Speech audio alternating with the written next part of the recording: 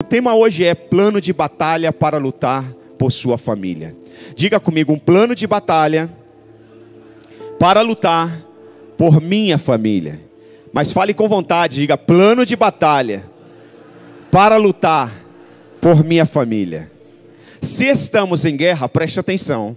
Se estamos em guerra, nós precisamos de um plano para enfrentarmos essa guerra. Nós precisamos de estratégia para enfrentarmos essa guerra. Ninguém entra em uma guerra sem um plano estratégico, porque se entrar, é fracasso na certa, ok? Então nós precisamos ficar muito atentos. Eu quero dar hoje quatro planos, quatro estratégias para você vencer em família, para você lutar por sua família. Você vai precisar desse plano de batalha. Primeiro plano, anote. Examine as manchas. Qual que é o primeiro plano? Até agora você não entendeu nada, mas você vai entender. Examine as manchas. Por isso que eu quero muito a sua atenção. Você não pode se distrair.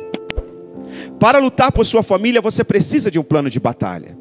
Agora preste atenção: quando Deus prometeu aos israelitas que um dia conquistariam a terra de Canaã, Ele também assegurou que eles viveriam em lares que haviam sido construídos.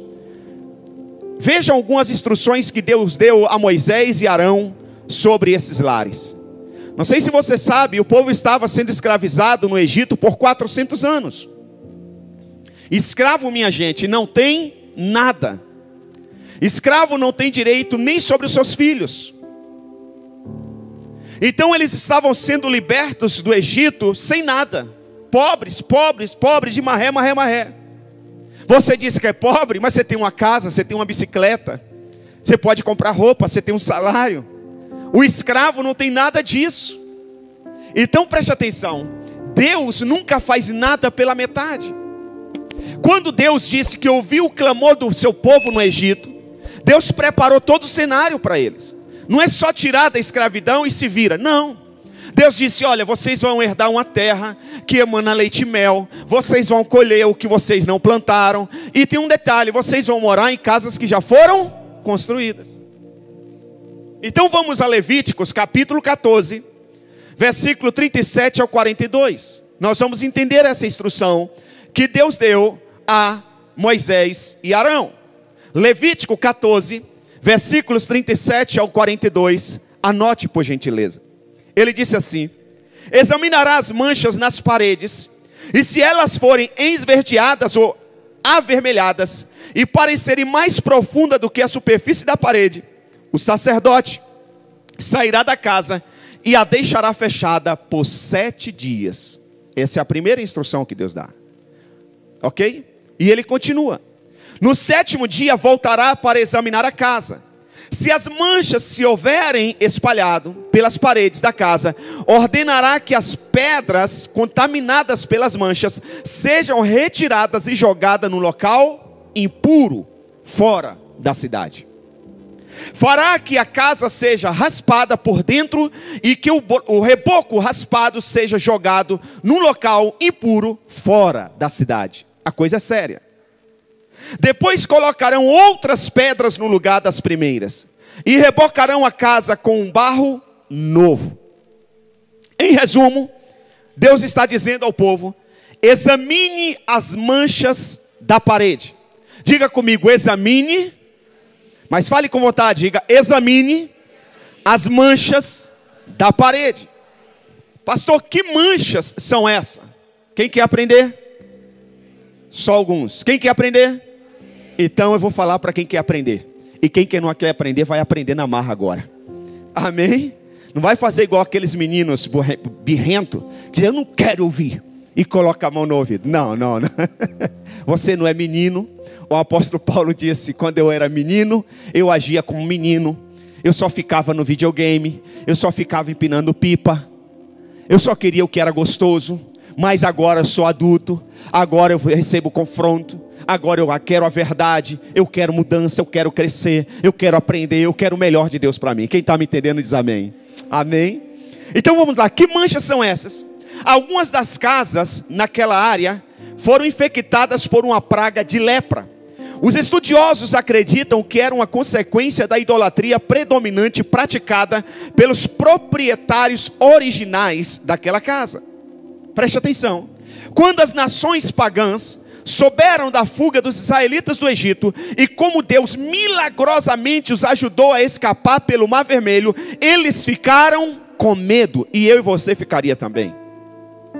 Não eram três pessoas, 30 pessoas, 20 pessoas, 50. Eram quase 3 milhões de pessoas. Preste atenção. Eles saem milagrosamente, são libertos do Egito. Eles chegam na frente do Mar Vermelho. Preste atenção. E Deus abre milagrosamente o mar. Atrás vem Faraó com a sua carruagem. Vem um exército enorme, querendo destruir o povo de Israel.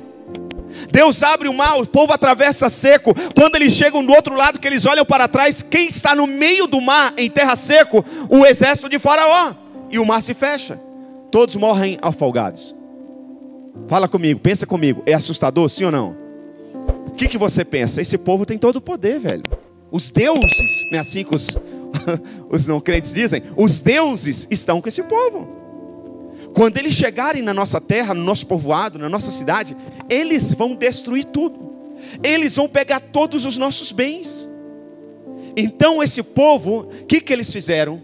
Eles abandonaram as suas casas, com medo, pegaram as suas famílias e saíram, vazaram. A terra, a cidade ficou vazia, somente as casas. E é nessas casas, preste atenção, é nessas casas que o povo de Israel, o povo de Deus, vai habitar. São casas que já estavam construídas. Eles imaginaram que o povo de Israel iria aparecer e conquistar tu, todas as suas terras. Na esperança de proteger suas, suas posses mais preciosas, os ídolos feitos de prata e ouro, eles enterraram essas estátuas nas paredes, sob o piso e atrás das pedras em suas casas. Quando os israelitas se aproximaram, Deus advertiu as pessoas para examinarem as paredes. Se aparecesse manchas vermelhas ou esverdeadas, era um sinal de que a casa estava o quê?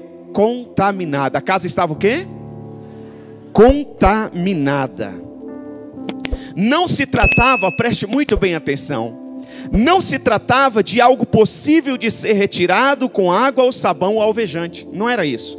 Era uma, seria uma questão espiritual e precisava ser tratada de forma espiritual. É importante nós entendermos isso. Tem coisas na nossa vida, na nossa família, que é altamente espiritual. E aquilo que é espiritual tem que ser tratado de forma o quê? Espiritual. Nós precisamos encontrar o equilíbrio da fé. Nós não podemos ser tanto Maria e nem tanto Marta. Preste atenção. Marta está preocupada somente com as coisas naturais, com a comida. Marta está preocupada com o sofá, com a casa. Marta está somente preocupada com os afazeres do dia a dia, com o natural. Maria, por sua vez, está somente preocupada com o espiritual. Maria, ela, ela está só aos pés do Senhor, ela que só quer ficar dentro da igreja ela só quer adorar. O ponto de equilíbrio está em algum lugar entre Marta e Maria. Quem está me entendendo diz amém. Eu já vi pessoas perderem o emprego, perderem uma oportunidade de negócio, por causa de querer ser só Maria, querer falar de Jesus o tempo todo dentro da empresa, querer toda hora uma folga para participar de algum evento da igreja. Calma. Precisamos de equilíbrio. Nós precisamos do emprego. E nós precisamos também da vida espiritual. Onde está o ponto de equilíbrio? Quem está me entendendo até aqui diz amém. Então vamos lá. Deus não queria que seus filhos vivessem lares espiritualmente condenados. A primeira tarefa deles no plano de batalha era a seguinte: avalia, avaliar as condições da casa. Diga comigo. Outra vez. Olha para a pessoa que está ao seu lado e diga: avalie as condições da sua casa. Falou? Eu não estou falando, preste atenção, minha gente. Eu não estou falando de tapetes desbotados, do sofá novo ou da pintura descascada da casa. Estamos falando da condição espiritual da sua casa. Como está a condição espiritual da sua casa? Ela está impregnada de amargura? Você sabia que tem lares que nós entramos e a gente percebe a amargura no ar? A sua casa está impregnada de raiva, você está com raiva do seu marido, seu marido está com raiva de você, os filhos estão com raiva dos pais, e os pais estão com raiva dos filhos, é a nora com raiva da sogra, é a sogra com raiva da nora, é o cunhado com raiva do outro cunhado, e por aí vai. Você, a sua casa, está impregnada de raiva. São perguntas. A sua casa está impregnada de muita gritaria. Você não sabe conversar, dialogar normal com ninguém. Você explode facilmente. Você sai gritando facilmente com seu filho, com a sua filha. Você até diz: Eu já perdi a paciência com você. Eu não sei o que eu faço com você. Eu não sei onde estava com a cabeça no dia que eu gerei você. Maldita hora que eu casei com você. Você grita o tempo todo, a sua casa está impregnada de gritaria. A sua casa está cheia de batidas de porta, é gente nervoso para todos os lados. Entra no quarto nervoso, bate a porta, vai no banheiro nervoso para não ouvir a instrução, bate a porta, vai para a cozinha, bate a porta, todo mundo batendo a porta com raiva. Como está a sua casa? Na sua casa tem brigas constantes? Não estou falando desentendimento, eu estou falando brigas constantes. Como está a sua casa? Se você disser assim, se você disser sim a qualquer uma dessas questões, considere como manchas em suas paredes. Nenhuma família, preste atenção, nenhuma família é perfeita. Estresse, tensão e conflitos são comuns em todas as famílias. Seu ambiente familiar nem sempre ficará cheio de sorriso, risadas e abraços ao nascer do sol, ao nascer ao pôr do sol, nem sempre.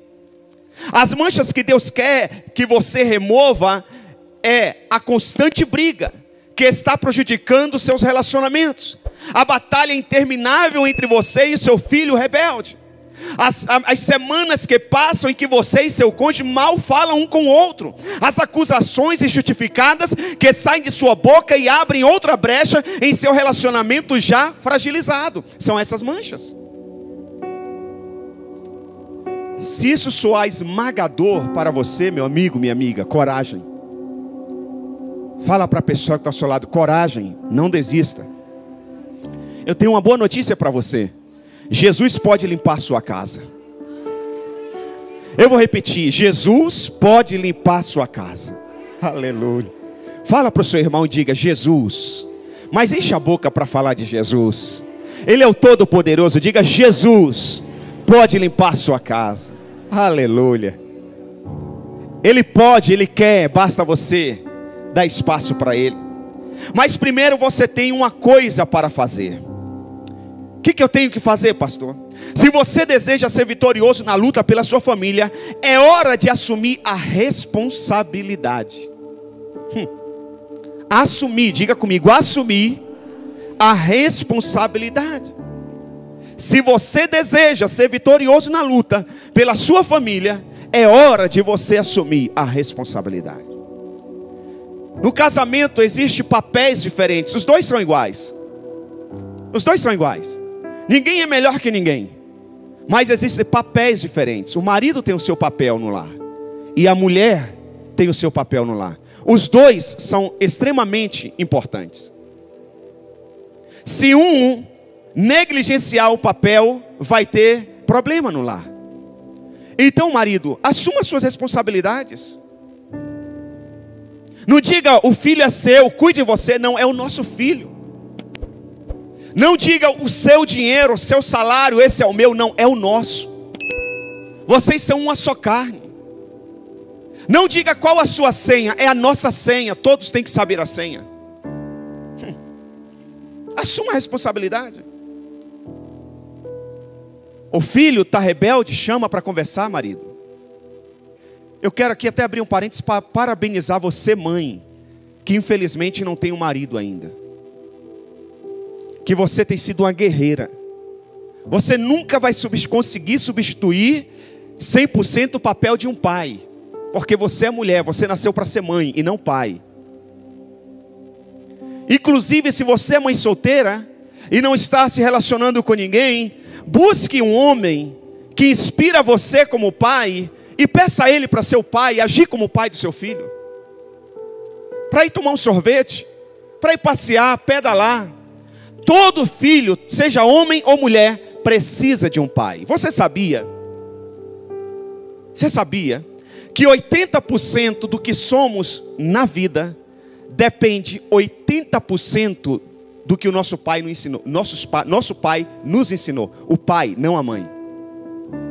Para sermos alguém de sucesso na vida, nós dependemos 80% do pai e 20% da mãe.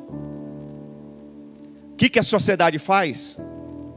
Separa os pais e geralmente a criança fica com as mães. Aí ela diz: Não, eu sou o pai e a mãe desse menino. É a mãe, você nunca vai conseguir ser o pai. Eu te admiro, eu te respeito e oro por você. Parabéns. Que você não abandonou sua criança. Mas esse menino, essa menina, precisa de um pai. Tudo bem até aqui? Jesus pode limpar a sua casa, mas você precisa assumir as responsabilidades. Você, mãe, assuma a responsabilidade de mãe. Assuma a responsabilidade de mulher, de esposa. Você, marido, assuma a responsabilidade de esposo e de pai. Aí Deus vai lutar por você. Aí Deus vai lhe dar vitória. Pense sobre essas questões, por favor. São perguntas. Primeiro, você está comprometido acerca das suas, de suas atividades? Você está comprometido com seu trabalho? Você está comprometido com a sua igreja? Você está comprometido com a sua palavra? Você está comprometido com as suas alianças? Segundo, você está comprometido acerca das pessoas com quem se relaciona?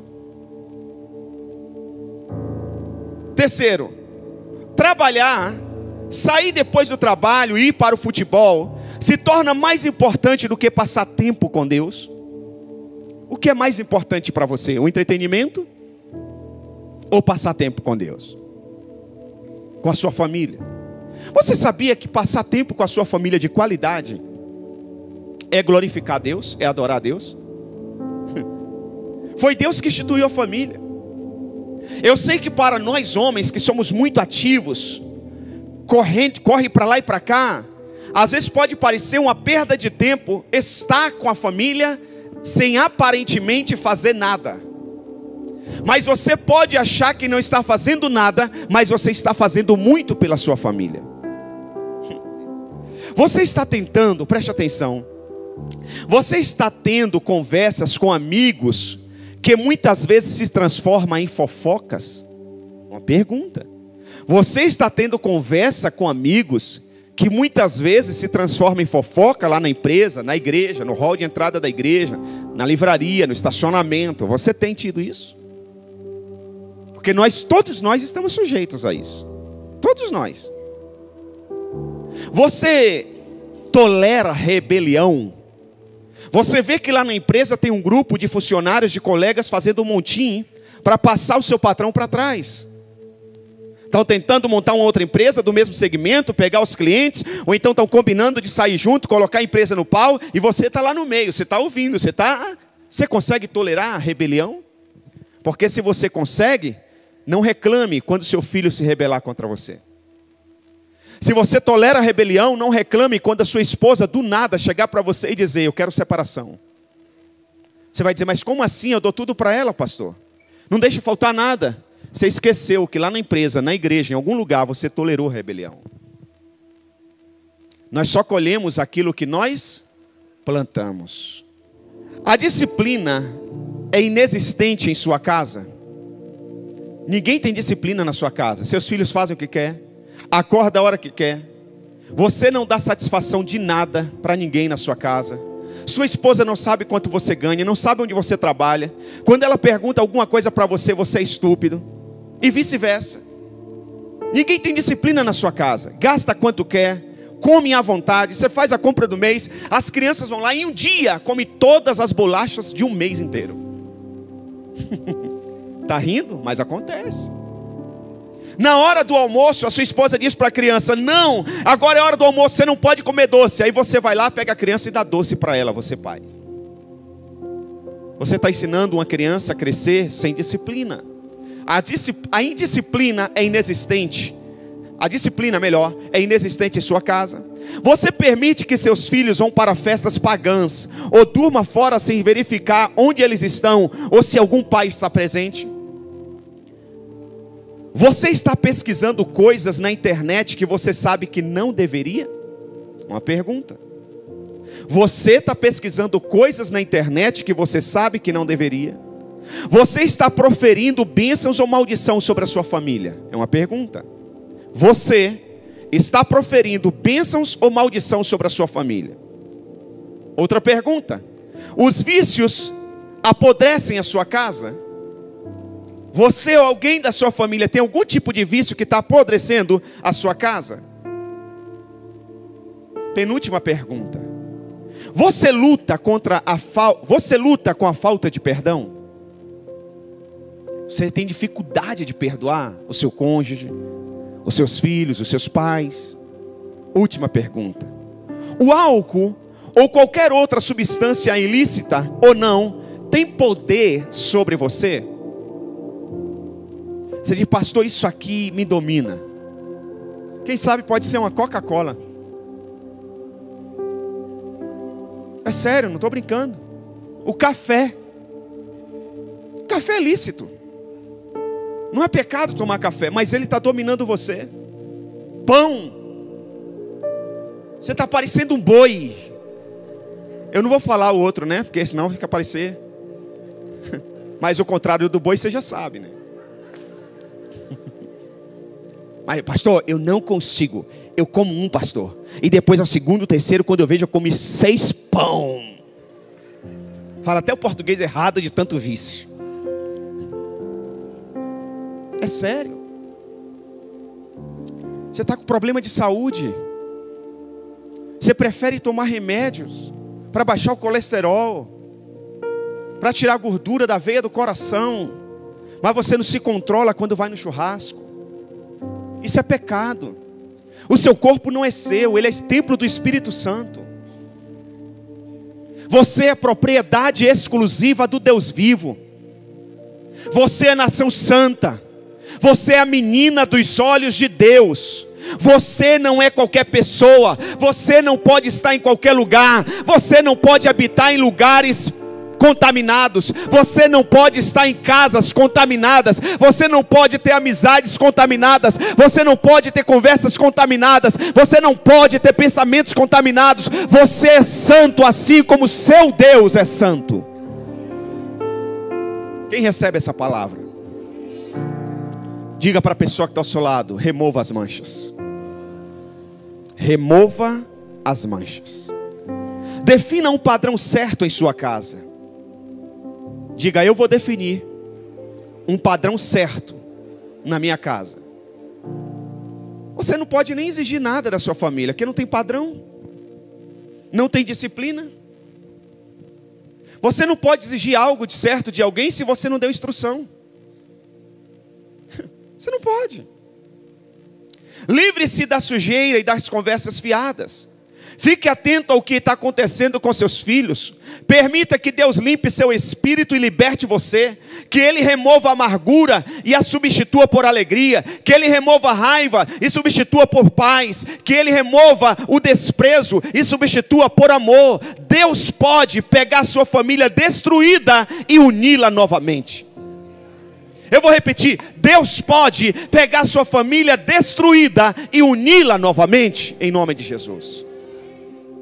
Até aqui foi a introdução. Fique em pé, por favor. Vamos orar.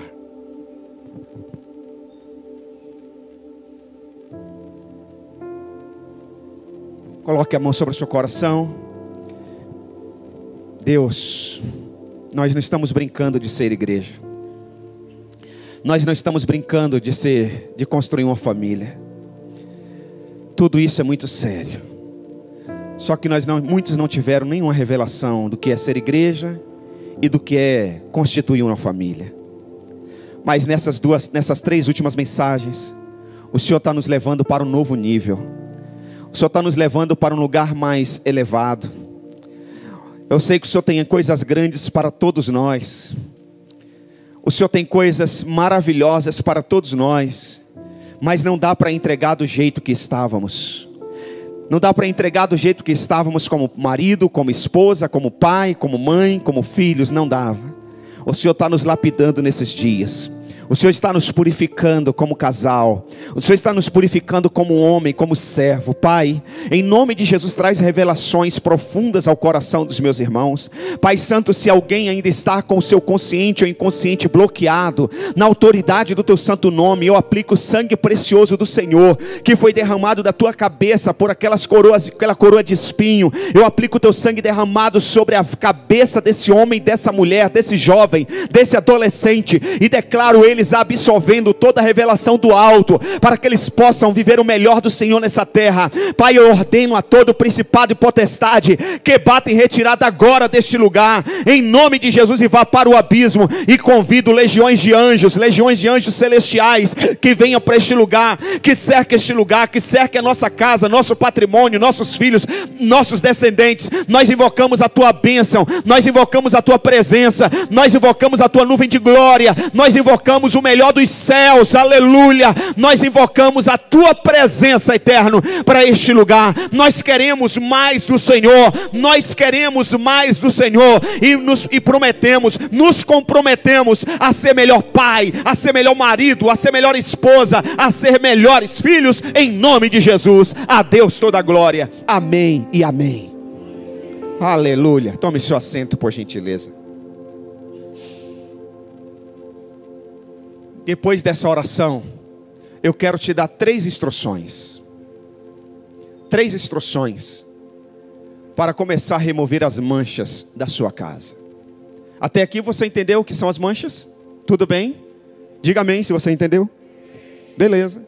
Então agora eu vou te dar três instruções para você remover as manchas da sua casa. Primeiro, unge a sua casa. Ungir a casa. Quando você unge a sua casa e sua família, você está dizendo ao Espírito Santo que ele é bem-vindo no seu lar. Segundo, declare bênção sobre a sua casa. Declarar sobre a sua casa. Este é um dever nosso. Aqui está uma boa dica de palavra para você declarar sobre a sua casa. Números, capítulo de número 6, versículo 24 ao 26, diz assim: o Senhor te abençoe e te guarde. O Senhor faça resplandecer o seu rosto sobre ti e te conceda graça. O Senhor volte para ti o seu rosto e te dê a paz. Declare isso sobre a sua família. Fale isso para os seus filhos antes deles dormirem. Dê um beijo nos seus filhos. Abençoe os seus filhos. Antes de trabalhar, se os seus filhos estão dormindo, vá lá no quarto se é menina, já é adolescente, bate no quarto, peça licença e dê um beijo, abençoe a sua filha. Diga o tempo todo para os seus filhos e para suas filhas que você o ama. Eles precisam dessa afirmação. Se você não falar para os seus filhos que você o ama, o traficante vai falar. E depois que ele terminar de falar, ele vai dizer: cheira isso aqui. Ele vai falar: usa isso aqui. Se você não falar para o seu filho que você o ama, a prostituta vai falar. Se você não declarar, se você não for intenso nas suas declarações para os seus filhos, alguém vai ser. A mídia vai ser. A sociedade vai ser. O YouTube vai ser. Você já percebeu quanto, como os nossos filhos falam dos YouTubes como se fossem amiguinhos? O Isaquinho fala o nome de alguns e eu digo, quem é? Pai, fulano, pai. Pô, pelo amor de Deus, é como se morasse do lado de casa. Eu preciso ser mais presente na vida do meu filho do que os youtubers. Os meus filhos precisam conhecer mais a mim do que Lucas Neto. É, estão dando risada, né? é verdade. A sua filha precisa conhecer mais você e a sua história do que qualquer outra youtuber aí. Então, declare bênção sobre a sua casa. Declare amor sobre a sua esposa. Ah, pastor, mas no dia que eu casei eu já disse que eu amava. não, claro disso, cara. Declare, não só declare, mas demonstre. Surpreenda a sua esposa. Mesmo na dificuldade, faça de tudo para ela andar bonita, bem arrumada. Não existe mulher feia, existe mulher mal cuidada e mal amada. Eu já passei por várias crises financeiras na minha vida. Em 2001 foi uma delas, uma das maiores. A minha esposa chegava final de semana e dizia: ah, Acho que não vai dar para ir ao salão fazer a unha, porque nós estamos apertados. Eu fazia questão, eu fazia um bico, eu fazia alguma coisa, mas eu levantava o recurso do salão. Ela ia arrumar o cabelo e fazer a unha. Até mesmo porque eu sei das minhas tentações. Se eu não a vejo bonita, bem arrumada dentro de casa, ao meu lado, eu posso ser cobiçado por outras que não são minhas, que estão bem arrumadas. E isso não só sou eu, qualquer homem. Então é melhor você ver a sua bem arrumada. É você ver, é melhor você ver a sua esposa cheirosa. Ainda que isso lhe custe mais uma hora de trabalho por dia, uma hora extra por semana. Mas vale a pena você fazer. É melhor sua barba crescer uma semana do que a sua semana, sua esposa ficar feia por uma semana. Porque homem, por mais que se arrume, né?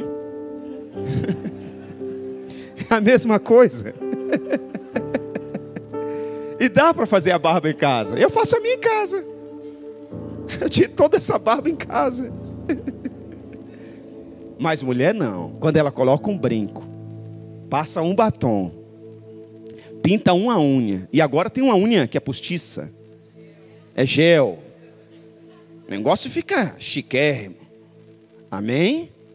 Tem artifícios para o cabelo. Ninguém precisa mais ter cabelo duro, a não ser que queira. Não, tem gente que ama, é estiloso. Eu vejo algumas, eu admiro, é. Se a pessoa admira, gosta, beleza, show de bola, é lindo. Não estou falando que é feio. Mas você não vai ficar andando revoltada. Não, é. Vai lá no salão, você não gosta.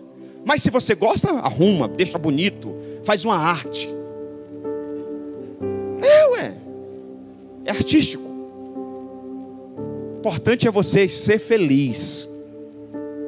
Amém? Feliz sem pecar. Feliz sem entristecer o Espírito Santo. Então preste atenção, invista na sua esposa. E a terceira dica que eu quero te dar: sirva a comunhão em sua casa. Servir a comunhão em sua casa. Uma refeição. Segunda estratégia. A primeira estratégia é remova. A primeira estratégia é remova. A primeira estratégia é remova as manchas. Segunda estratégia, anote, comprometa-se com os seus compromissos. Comprometa-se com os seus compromissos. Se você quer paz em sua casa, se você quer um casamento duradouro, se você quer uma, gera, uma geração de família, que a sua geração de família continue servindo ao Senhor, comprometa o seu caminho em Deus. Tem gente se comprometendo com time de futebol, nada contra ao time de futebol. Eu torço pelo time, eu tenho camisa do meu time. E uso camisa também de qualquer outro time, é só me dar original. Eu não tenho esse problema. De vez em quando eu estou com a camisa do Santos, que o Tiago me deu. Bonita, Santos. Do São Paulo não tem porque nenhum São Paulino me deu. São todos assim, ó. Mas eu já tenho do Corinthians. Também eu uso. Amém? E se me der do Palmeiras original, eu também uso. Mas aqui não vai gostar muito, mas eu uso. Não tem esse problema não. Mas comprometa-se com seus compromissos. Se comprometa com Deus, homem. Se comprometa com Deus, mulher. Não vacile em sua fé. Não negocie seus padrões. Defina as prioridades certas para você e para a sua família. Defina. Jeremias, capítulo 6, versículo 16 diz assim: Ponha-se nas encruzilhadas e olhem. Perguntem pelos caminhos antigos. Perguntem pelo bom caminho. Siga-no e acharão descanso. Ei, Deus tem descanso para você na sua família não é para você viver estressado na sua casa, preocupado se o marido está traindo, se o filho está em lugar errado, se a filha está em algum outro lugar errado. Não, Deus tem descanso. A sua família é lugar, o seu lar é lugar de descanso, de refrigério. O seu lar tem que ser um verdadeiro pedacinho dos céus. Quando você reúne a sua família, seus filhos, sua esposa, é para vocês se alegrarem, é para vocês terem prazer, é para vocês sorrirem em volta da mesa, no sofá, na frente da televisão comendo pipoca, é para vocês se alegrarem numa viagem, não é para ter briga, discórdia. Deus tem descanso para você, mas você tem que procurar pelos caminhos corretos, você tem que procurar pelos caminhos direitos, você tem que chegar numa encruzilhada, não sabe para onde ir, você diz: Ei, onde que está o caminho do amor? Ei, onde está o caminho da paz? Ei, onde está Deus? Onde é a igreja vida triunfante? Onde é o dia da consagração? Onde é o dia do culto, da celebração? Ei, eu quero Deus para minha família. Você você vai encontrar descanso para sua família. Ao criar sua família, estabeleça em seu coração que você e seus entes queridos estarão, estarão sendo sempre comprometidos com Deus. Vocês irão à igreja juntos.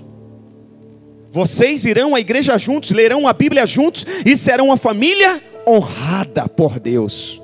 Vamos declarar no 3? Bem forte. Um, dois, três.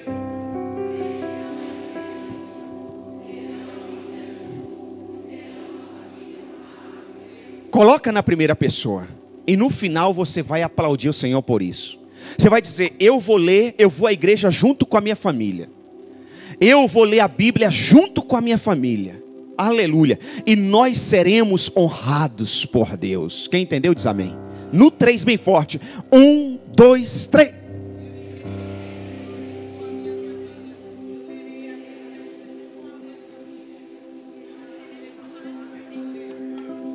Para ensaio foi mais ou menos.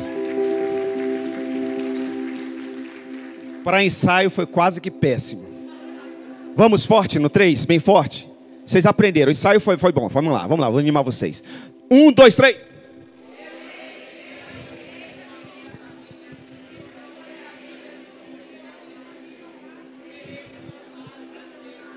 Meus irmãos, agora aplauda o Senhor, vai. Aleluia. Deixa eu falar uma coisa para você. Vocês podem brigar, podem brigar, podem fazer barulho, se enfurecer, fazer bico, ficar amargurado, ou falar más palavras um com o outro de vez em quando. Mas quando tudo estiver dito e feito, determine permanecer em compromisso com Deus. Lembre-se de quem está do lado de vocês, lutará por vocês e sempre será, seja rápido em perdoar. Porque ninguém é perfeito. Tem dia que a mulher não está bem. E homem, se você não conseguiu ter esse discernimento, peça a Deus, velho. Se você observa a sua esposa, tem dia que você percebe, poxa, ela está hoje, velho. Se eu perguntar alguma coisa, eu posso morrer hoje. Você percebe no café, em algum momento. E aí você, ó, recua. é melhor recuar. Tem hora que é melhor, é não é, Tiago? É melhor. Aqueles dias, sabe? Que eu não sei que dias são esses, porque a coisa já acontece há 30 anos, velho. Todo mês, e todo mês ficar de pá virada, eu acho que é frescura. Cadê as mulheres aí? Preste atenção. Mas pode ter, mas você tem que estar pronto para perdoar. Tem que entender que Deus permanece na sua família. A maioria, de, a maioria de nós conhece um homem chamado Davi. A mensagem hoje é um pouco longa, mas é necessária. Ok? A maioria de nós conhece um homem chamado Davi. Quem já ouviu falar do rei Davi? Davi é um homem considerado segundo o coração de Deus. Em Atos capítulo 13, versículo 22, Deus tinha muitas coisas boas a dizer sobre este homem, embora ele não fosse um homem perfeito, mas nem sempre entendia as suas prioridades. Às vezes ele ficava meio confuso, mas era um homem segundo o coração de Deus. Agora veja esse versículo a respeito de Davi que Deus escreveu. Olha o que Deus falou a respeito de Davi. 1 Reis, capítulo 15, versículo 5. Agora nós vamos nos aprofundar mais, hein? Nós vamos decolar um pouco mais alto. Se prepare. 1 Reis 15, 5 diz assim: Pois Davi fizeram o que o Senhor aprova e não deixaram de obedecer a nenhum dos mandamentos do Senhor durante todos os dias da sua vida, vírgula, exceto no caso de Urias, o Etita. Preste atenção. Por que Deus coloca uma vírgula e diz, exceto no caso de Urias, o Etita? Vamos entender um pouco quem era Urias, ok? Urias foi um dos guerreiros de Davi. Ele foi até listado na genealogia de Jesus como marido de Betseba. Davi, um homem segundo o coração de Deus, não só teve um caso com a mulher de Urias, a Betseba, como também planejou matar Urias para cobrir a sua própria falha. Agora preste atenção. Havia algo sobre Urias a qual Deus ficou tão atraído e não pôde ignorar. Havia algo na vida de Urias que impressionou a Deus. Preste atenção. Depois que Urias morre, Betseba fica viúva. A viúva pode casar com qualquer outro homem. E ela casou com o rei. Só que para Deus, preste atenção, para Deus, Davi nunca foi casado com Betseba. Para Deus, a vida inteira de Betseba, o marido dela era Urias. Por quê? Vamos aprender? Quem quer aprender? Isso é muito importante, isso vai mudar a sua história, vai mudar a sua vida. Isso vai levar você à prosperidade, vai levar você a um nível espiritual tremendo. Urias tinha um espírito de lealdade. Urias tinha o quê? Urias tinha o quê? Um espírito de lealdade. Isso é tudo que Deus quer encontrar em você. Um espírito de lealdade. As pessoas hoje, quando elas querem ser desleal com alguém, e esse alguém ajudou muito, elas até usam a seguinte expressão: Eu gosto muito do Marcelo. O Marcelo é como um pai para mim. Ele me ajudou muito. Tudo que eu sou eu devo a Marcelo. Mas, aí entra a deslealdade. Mas não dá para caminhar mais junto. Mas isso, isso e isso. Não, Urias não fez isso. Vamos aprender com Urias. Creio que é por isso que Deus continuou a mencioná-lo repetidas vezes. Lealdade ou comprometimento é um conceito poderoso. Lealdade ou comprometimento é um conceito poderoso. Nós também pressionamos a Deus quando estamos comprometidos com Ele, com a igreja, com o nosso casamento e com os nossos lares. Todos nós sabemos que Davi teve um caso com Betseba. Você pode ler em 2 Samuel, capítulo 11. Ela ficou grávida no, no primeiro encontro. Imediatamente Davi imaginou uma solução para esse erro. Ele iria cobrir o que havia feito. Ele mandou chamar Urias que estava no campo de batalha. E ele disse para Urias o seguinte: você lutou muito, cara. Você precisa de uma pausa. Você precisa de um descanso. Quem é casado sabe. Você está um mês fora de casa, dois meses fora de casa, no meio de um monte de homem. Quando você voltar para casa, o que, que você tem em mente? Um belo banho. Aquela janta gostosa que a esposa vai preparar para você. E depois, brincar com a esposa. Amém? Posso ouvir um glória a Deus dos homens? Amém. Agora apareceu homem na igreja. então ele imaginou, ele está lá secão, subindo nas paredes. Eu mando ele voltar, ele vai se sentir honrado e vai para galera. Só que ele não sabia que Urias era leal com seus companheiros de guerra, com o rei, com Deus e com a sua família. Então preste atenção, Você lutou muito por mim, disse Davi a Urias. Por que você não faz uma pausa? Vá para casa e fique com sua esposa. Davi achava que tinha tudo planejado, mas ele não percebeu que Urias era um homem de lealdade. Diga para a pessoa que está ao seu lado: seja uma pessoa leal, seja uma pessoa de lealdade. Urias não foi para casa coisa nenhuma, ele se sentiu culpado porque os seus companheiros estavam lutando na linha de frente e ele não estava com eles. Ele não dormiu, ele dormiu perto da porta do palácio com os servos do rei. O rei tentou novamente no dia seguinte, na noite seguinte. Davi deixou o homem bêbado. Davi deu vinho para o cara, deixou o cara embriagado, esperando que a bebida o fizesse se sentir apaixonado, estimulado a ir para casa e dormir com a sua esposa. Mas isso também não aconteceu. Muito engraçado, né? Não aconteceu. Agora segura isso aqui, pelo amor de Deus. Urias tinha mais convicção quando estava bêbado do que a maioria das pessoas sóbrias. Vou repetir. Urias tinha mais convicção da sua lealdade, do seu comprometimento, da sua fé, quando estava bêbado, do que a maioria das pessoas sóbrias. Como explicar isso?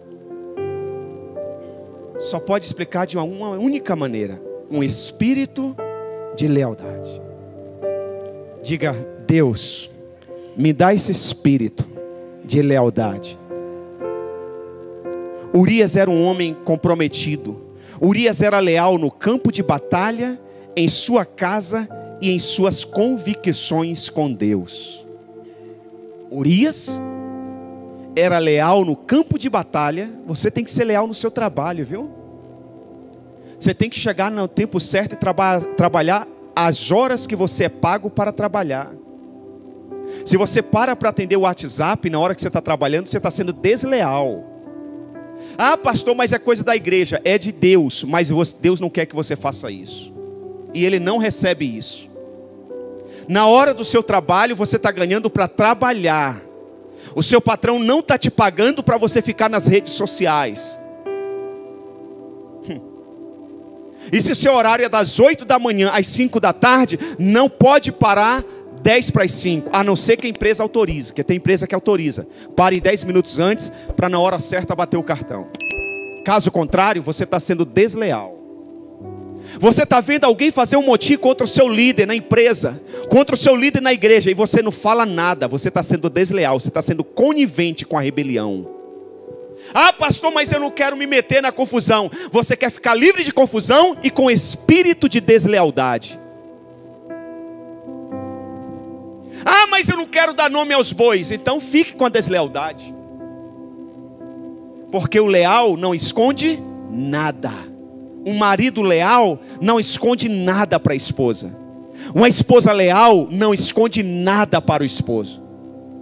Filhos leais não escondem nada para os pais. E pais leais não escondem nada dos filhos. Posso continuar? Ou está forte demais? Pode continuar, Fernanda? Amém. Então vou continuar. Você mandou? Você pode se concentrar em uma situação, você pode se encontrar em uma situação em que você não deveria estar. Mas se você tem o suficiente da palavra de Deus, você não vai pecar. Olha o que diz a Bíblia. Provérbios 11:3. A integridade dos justos os guia mas a falsidade dos infiéis os destrói. É Bíblia. Provérbios. Salmos 119, 11.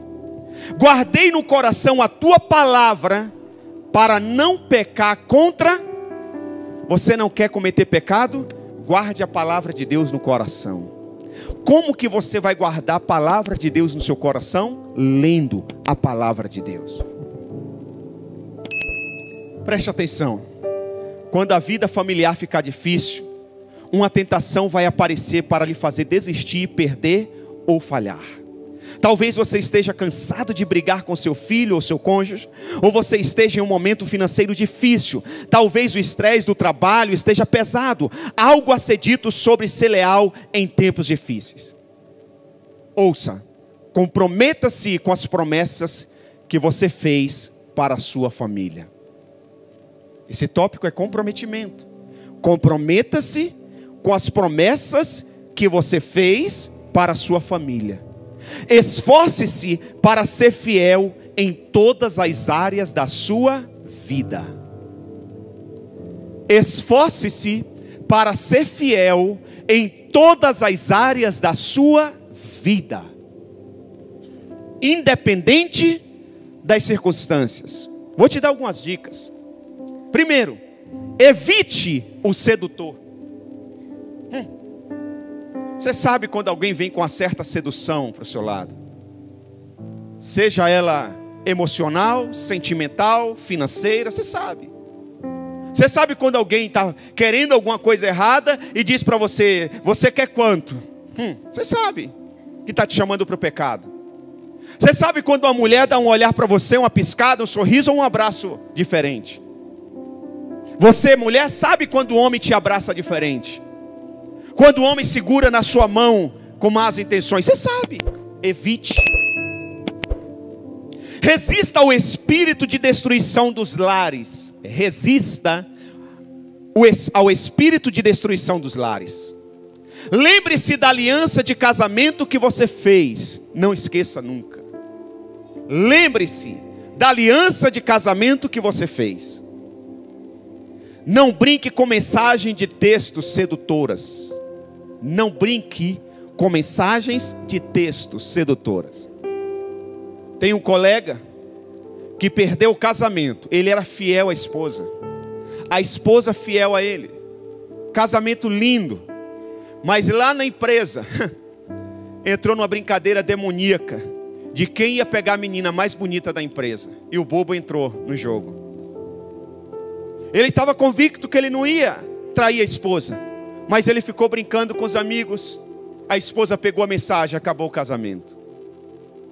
Não brinque com mensagem de textos sedutoras. Fuja da tentação. Não vá a lugares que você não deveria ir, todos nós sabemos. Onde nós devemos ir, onde nós não devemos ir. Na dúvida, não vá. Na dúvida, vá embora. Na dúvida, não fique. Na dúvida é melhor dizer não, ou na dúvida é melhor dizer sim. É melhor você acertar ou errar por excesso em querer acertar do que você errar cedendo a tudo. Quem está me entendendo diz amém.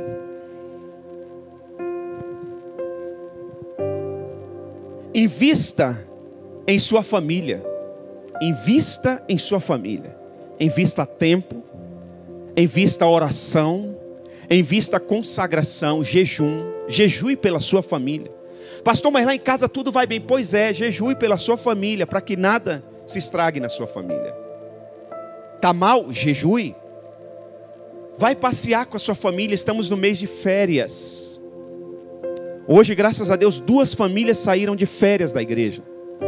A família do pastor Wagner e a família do Sandro estão de férias. A família do Aldo já está de férias. Eu me alegro quando eu vejo famílias da igreja saindo de férias. É como se eu estivesse saindo com a minha família. Não tem desculpa de dinheiro. Pode ir para casa até da sogra, se for o caso. Pode ir para um sítio. Pode dar uma volta no lago. Pode fazer um bate-volta na praia. Aluga uma casa se não pode ficar no hotel. Leva as coisas, faz a comida, mas sai da rotina. Invista na sua família.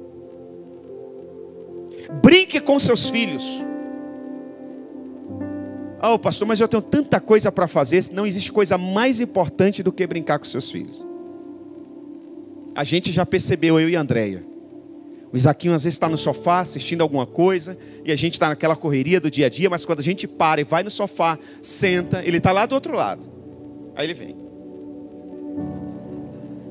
Daqui a pouco ele está em cima da gente porque isso faz bem para ele e faz bem para a gente também. Aqui já está mais velha? Às vezes vai para o quarto resolver as coisas lá dos adolescentes. Aí eu dou um grito: Gabi! Que é, pai? Fica aqui com a gente. Hum. Mas eu estou fazendo alguma coisa. Fica aqui com a gente. Dá um jeito. E às vezes vai crescendo não quer ficar mais com os pais, né? Os pais já não entendem muitas linguagens e tal, e por aí vai. Envolva-se na vida de seus filhos. Envolva-se na vida dos seus filhos. Leve seus filhos ao jogo de futebol. Leve sua filha às compras. Ah, que legal. Outro dia eu saí com a Gabi, ué. Só foi nós dois. Comprar as coisinhas dela. Vira e mexe a gente sai. Nem que seja para ir na farmácia comprar um shampoo. Mas eu vou com a minha filha. Eu vou com ela ao shopping, só eu e ela. Aí tem um dia que é do Isaquinho e ela quer ir. Aí eu falo: não, já teve o seu dia, agora é o dia do Isaquinho. E tem o dia da minha esposa. Que aí ela começa a cobrar. Saiu com os dois e não chegou a vez dela. E eu? Aí chega o dia dela. As crianças querem ir, mas aí a gente não leva, agora já pode ficar sozinho. Mas antes, quando tinha que levar os dois, porque eram menor de idade, tinha o dia da compra de cada um. Hoje nós vamos comprar roupa para sua mãe. Ah, pai, mas eu. É da sua mãe o dia hoje. Hoje nós vamos comprar roupa para o Isaquinho. Ah, pai, mas eu tô. É do Isaquinho. Amor, que brusa linda. Olha aqui. Mas hoje é do Isaquinho. Você está entendendo? É bom eles entenderem, cada um entender o valor que eles têm para você, pai. Diga, diga e faça coisas que trarão honra à sua família. Convicção é inútil até converter-se em conduta. Você fala, fala, fala, mas nunca converte o que você fala em conduta. Quer saber a profundidade do seu caráter? Siga com os compromissos que você já assumiu quer saber a profundidade do seu caráter, siga com os compromissos que você já assumiu. Não apenas fale, faça. Terceira estratégia e última e penúltima. Viva as suas convicções. E aqui a gente vai se aprofundar um pouco mais. Diga comigo, viver as minhas convicções.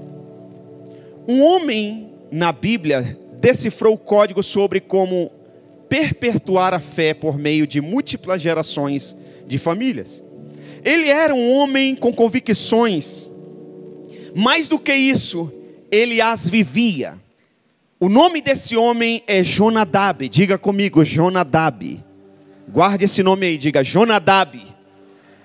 Jonadab é mencionado pela primeira vez em 2 Reis capítulo 10. Ele se tornou o braço de Gel, o homem carregado por Eliseu de assumir o trono de Israel e acabar com a idolatria na nação, restituindo a adoração ao único Deus. Ele era perfeito para o trabalho, pois ele tinha grande zelo pela santidade de Deus. Ele se opunha à religião da época e se recusou a deixar a idolatria penetrar em sua vida familiar.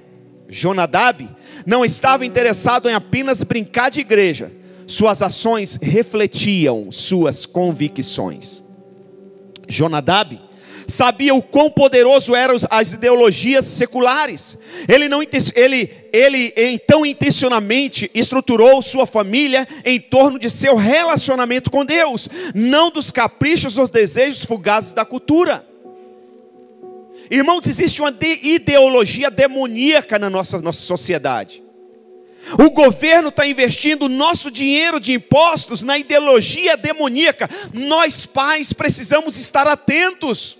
Não podemos deixar essas ideologias malignas entrar e penetrar na nossa família. Eu já tive mães dizendo, pastor, eu não sei fazer com a minha menina de 15 anos, ela defende tal coisa que nós não acreditamos, ela defende tal coisas que nós não falamos dentro de casa. O que está acontecendo, pastor? A ideologia do mundo. Ou você investe em Deus na sua família, ou o mundo vai investir o demônio na sua família. Não podemos brincar de ser igreja, precisamos transformar as nossas convicções em ações. Diz que ama a Deus, mas não lê Bíblia. Diz que ama a Deus, mas não ora. Diz que ama a Deus, mas não vai na vigília. Diz que é fiel a Deus, mas não dizima, não oferta. Diz que ama a Deus, mas falta no culto mais do que nunca. do que qualquer coisa. Seus filhos precisam ver você transformar as suas convicções em ações. Então preste atenção. Ele decidiu não permitir que a falha espiritual entrasse em sua casa. Para esse fim, Jonadab estabeleceu algumas regras. Qual a regra que ele estabeleceu para sua família? Anote. Ele não permitia que ninguém em sua casa bebesse álcool. É álcool, cachaça, vinho, vodka, caipirinha. Ele não permitia. Por quê? Este não foi um mandamento ordenado por Deus. Mas Jonadab era um homem sábio.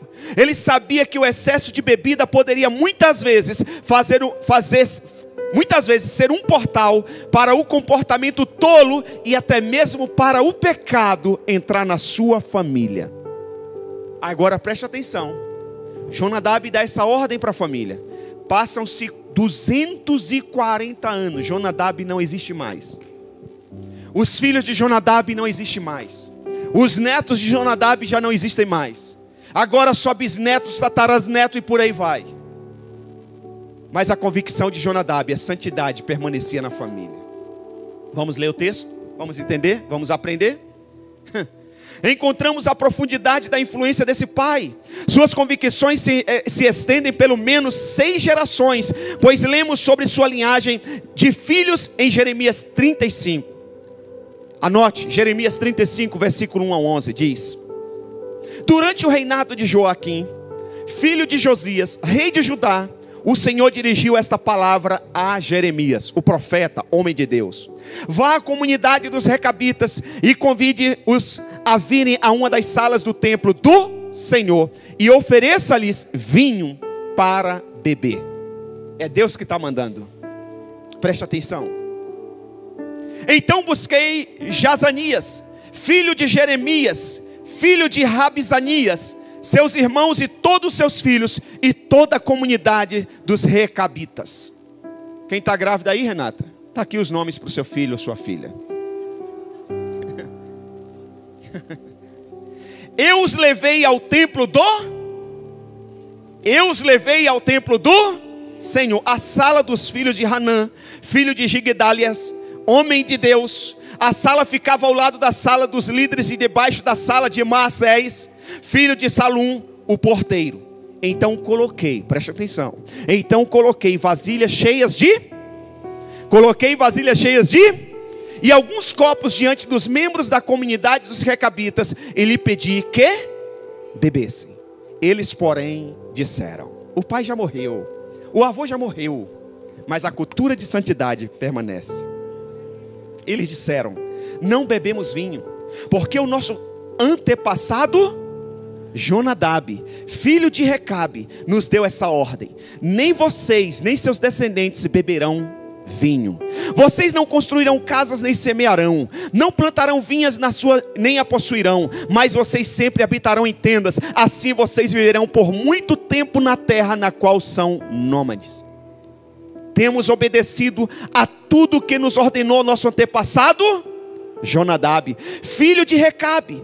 Nossas mulheres, nossos filhos e nossas filhas jamais bebemos vinho em, nossa, em, em toda a nossa vida não construímos casa para nossa moradia, nem possuímos vinha, campos ou plantações. Temos vivido em tendas e obedecido fielmente a tudo que o nosso antepassado Jonadab nos ordenou.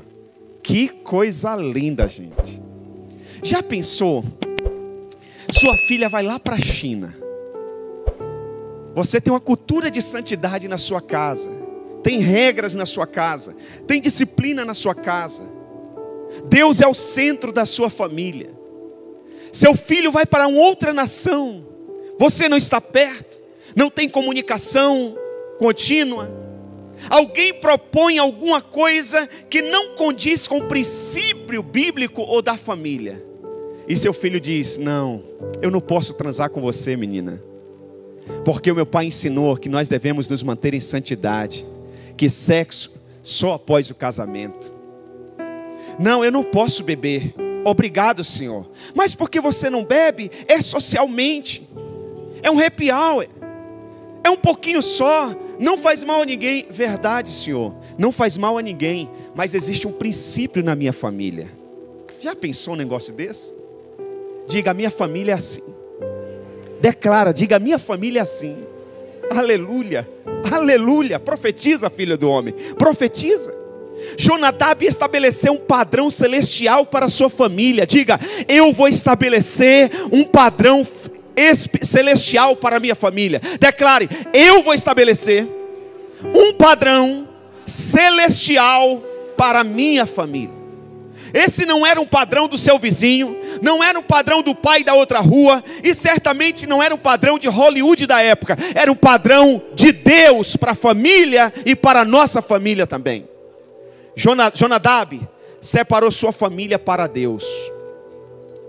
Eu te pergunto, você está disposto a separar sua família para Deus? Feche os seus olhos. Coloque a mão sobre o seu coração e diga: Deus, eu prometo separar minha família e todos os meus descendentes para o Senhor. Aleluia. Precisamos identificar as coisas em nossas vidas, em nossas famílias, que não glorificam a Deus, e então devemos ousadamente removê-las de nossos lares, não para seguir um conjunto de regras, mas para proteger ferozmente aqueles que amamos. Proteja a sua família. É assim que criamos uma herança espiritual, é assim que passamos as vestes de fé. Lembra da mensagem da semana passada?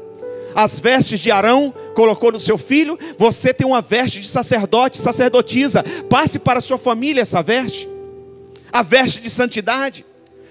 É preciso mães fortes, é preciso pais fortes, é preciso homens e mulheres corajosos que estejam dispostos a dizer sim a Deus, a consagrar a si mesmo e a sua família e lares. Consagre, seja corajoso, seja corajosa. Eu vou ser bem sincero com vocês. Eu admito que, embora eu me esforce para ser um bom pai, às vezes eu falho. Todos nós falhamos. Eu cometo erros. Eu já falei palavras das quais me arrependi. Mas continuo tentando, eu não vou parar. Eu posso cair amanhã, mas eu vou me levantar. Vou continuar em pé porque escolhi lutar pelo futuro dos meus filhos e dos filhos deles e das futuras gerações. Eu decidi lutar. Eu vou até as últimas consequências. Eu vou lutar. Quem está disposto? Se coloque de pé, homem, principalmente os homens, e diga: só os homens. Diga: eu decido lutar pela minha família. Eu posso cair amanhã, mas eu vou levantar, porque eu estou decidido lutar pelos futuros dos meus filhos, dos filhos deles e das futuras gerações. Diga glória a Deus e aplauda o Senhor. Decida. Tome seu assento, por gentileza. Todos precisamos ser melhores em dizer não. Diga não à bebida, às drogas, a certos filmes, diga não aos, a, a, almoços inofensivos com colegas do sexo opostos, do sexo oposto, diga não às fofocas e a toda a conversa de lascívia, diga não a deixar seus filhos saírem com quem quiserem ou irem onde quiserem. Diga não. As coisas mais, a coisa mais legal na vida de Jonadab é o é que Deus prometeu que ele aderiu às suas convicções e disse. Deus disse para Jonadab: em Jeremias 35, 19: Jamais faltará a Jonadab, filho de Recabe, um descendente que me sirva. Que coisa linda! O que Deus está dizendo? Todos os descendentes de Jonadab me servirá. Irmãos, nós temos que ser intenso nisso. Eu oro todo santo dia. Eu oro todo santo dia. E eu digo para Deus: Deus, todos os meus descendentes te servirão com alegria. Todos os meus descendentes te servirão com alegria. Eu já oro pelo meu genro. Eu já oro pela minha, pela minha nora. Eu já oro pelos meus netos. Eu já oro pelos meus bisnetos. Eu já oro pelos meus tataranetos. Eu já oro por todos os meus descendentes. Ó, desde quando eu era solteiro. Todo descendente de Jonadab me servirá. Que promessa incrível, gente. Que Deus maravilhoso, não importa como a sociedade ou a cultura mude a cada geração. Nosso Pai Celestial pode abençoar aqueles que escolherem estabelecer um padrão em suas casas e lutar pela alma das suas futuras gerações. Sua casa pode ser uma bênção e ter paz e alegria. Eu vou repetir: sua casa pode ser abençoada, ter paz e alegria. A sua casa deve ser um pedacinho dos céus. O favor de Deus pode ser uma verdade na sua casa. Mas você tem que lançar fora as coisas em que seu coração, com as quais você cá, sabe que Deus não está satisfeito. Você tem que jogar essas coisas fora. Você tem que reparar os muros. Viva pelas suas convicções. Recuse a ignomia. Escreva a mensagem de Josué. Declare a mensagem de Josué em Josué 24:15. Eu e a minha família serviremos ao Senhor. Declare: Eu e a minha família serviremos ao Senhor. E para encerrar, última estratégia. Quarta e última. Lute pelo que sobrou. Lembra da última mensagem? Neemias foi a Jerusalém reconstruir os muros. A Bíblia diz que ele fez uma rápida inspeção e ele viu que os muros estavam em ruínas, que os portões tinham sido queimados. E ele começou a restaurar o que sobrou. Diga, eu vou restaurar o que sobrou. Nas mãos de Deus, nada está perdido. Nas mãos de Deus, nada está perdido. Fora de Deus, tudo está perdido. Se você não quer Deus, já era a sua família, já era o seu casamento. Primeira coisa que você tem que fazer para reparar os muros, para restaurar a sua vida, seu casamento e a sua família, é buscar a Deus. E a Bíblia diz assim: poderão andar dois juntos se não estiver em acordo? Os dois têm que querer buscar a Deus. Os dois, os filhos podem até não querer, mas se um pai e a mãe querer, já era. Eles vão buscar uma hora ou outra. Por isso que a Bíblia diz: ensina a criança no caminho em que deve andar, ainda que venha envelhecer, não se desviará dele. Ele pode sair da rota, mas vai voltar em nome de Jesus. Então preste atenção.